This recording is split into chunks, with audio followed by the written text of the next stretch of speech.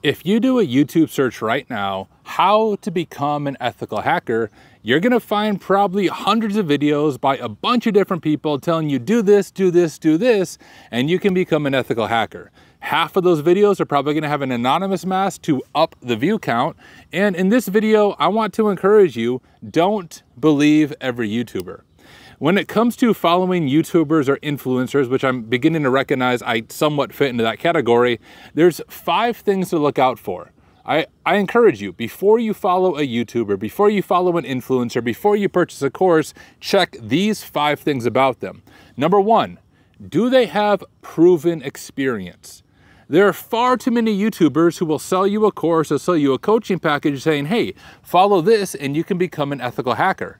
Then when you read their background, you learn that they have never spent any amount of time as an ethical hacker or as a pen tester. Or when you try to dig into it, they tell you, you know what?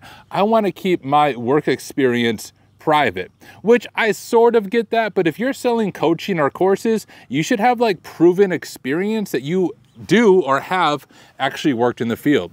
Number two, accuracy. When you watch their videos, when you watch their content about web app pen testing or network pen testing or APIs or cloud, are they actually saying the right stuff? You see, anyone can hit play on a webcam or a phone or whatever camera, and anyone can solve a TryHackMe machine just by looking at a walkthrough and going through it in 10 minutes. You can generally tell just by listening to them, do they actually know what they're talking about? Do they know how to troubleshoot? Do they know how to think outside of the box? Do they know how to actually hack? You give me any YouTuber and give me five minutes of watching their video and I can tell you whether or not they are accurate and whether or not you should follow them. Number three, do they have hands-on content? If all their videos are like the video I'm making right now. I'm sitting, I'm just sitting outside talking to you guys. If this is the only videos on my channel, you probably shouldn't follow me to learn how to be an ethical hacker. But here's the thing. I have over 600 videos and countless live streams of me pulling up a machine blindly and saying, all right, guys, let's dive into this. And I share with you my full thought process, my methodology, my note taking, and I teach in real time as I'm doing it. If the YouTuber you follow does not have any hands-on content, but it's just them saying, hey, here's how to make a bunch of money in tech, you might not want to follow them. Number four, is there transparency? And what I mean about that is when they make, for example, a sponsored video, are they upfront about that? You know, one thing I went off on a while ago was a bunch of YouTubers making sponsored videos about certifications.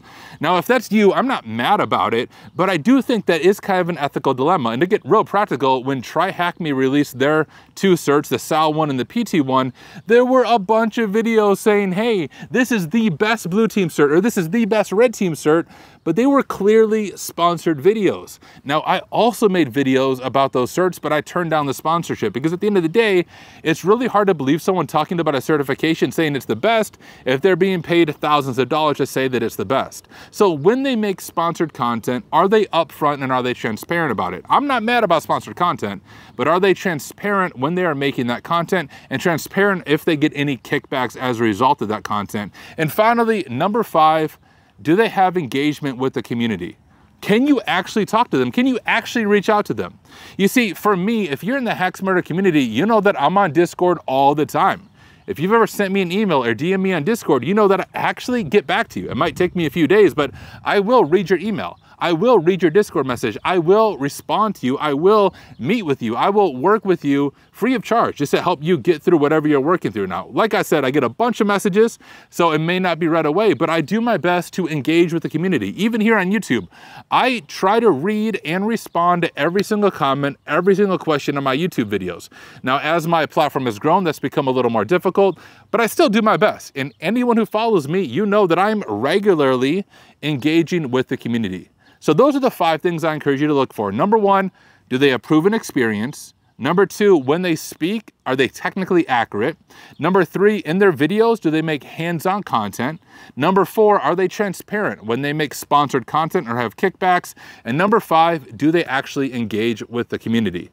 Now, I hope I meet every one of those, but honestly, there's areas for me to grow as well. But hey, if you appreciate my content, there's two things I would ask you to do. Number one, I have some courses that teach you how to be an ethical hacker. Now the difference between my courses and other ones is these are crazy affordable.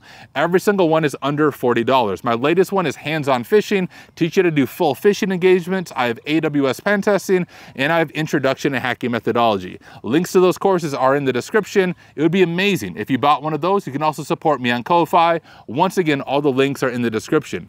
But number two, here's what I wanna hear from you. Who is your favorite YouTuber? Who is your favorite content creator that is legit in this space? Maybe they have 100 subscribers, maybe they have 100,000, maybe they have a million, but I would love to hear from you. Who should I be following? And who should other people in the comment section be following? Now, I'm gonna ask you not to drop names of people you don't like. I don't wanna become, you know, that Reddit thread from a while back, but who do you thoroughly enjoy and who do you learn from? Let me know in the comments. I would love to connect with them. I would love to subscribe to them. I would love to follow them and other people in the comments would as well. So hey guys, thank you so much for being on this journey with me. I will catch you in the next one.